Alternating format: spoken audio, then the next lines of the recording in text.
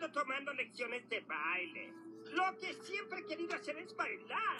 Pero tenía miedo que la gente se riera de mí. Por ser tan poquito. Así que se vistió como esa criatura para que no se rieran de usted. Es que creí que así le gustaría a la gente. Tienen que querer a un tipo que sabe bailar y que no es fofo, ¿verdad? Pero oiga, este vestido sí que aprieta. Me magulle la vesícula biliar.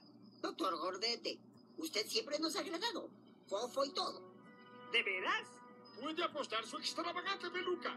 Y creo que es genial que esté tomando clases de baile.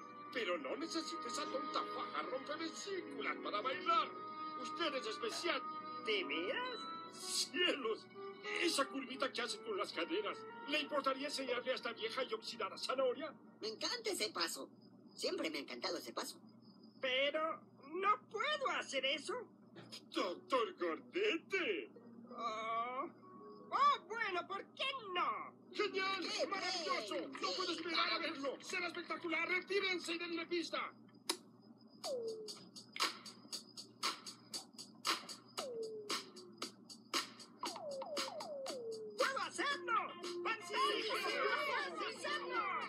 Ya ve, doctor Gordete, cuando alguien salsa especial, no importa lo que los demás piensen, solo sea usted mismo. Una linda calabaza bailarina quiso ser. Con esa ropa grande no creí poderlo hacer.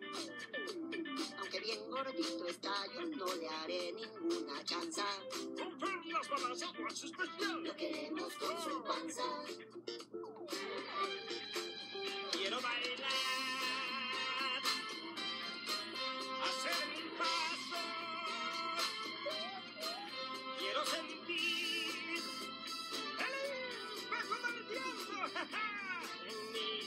Bye.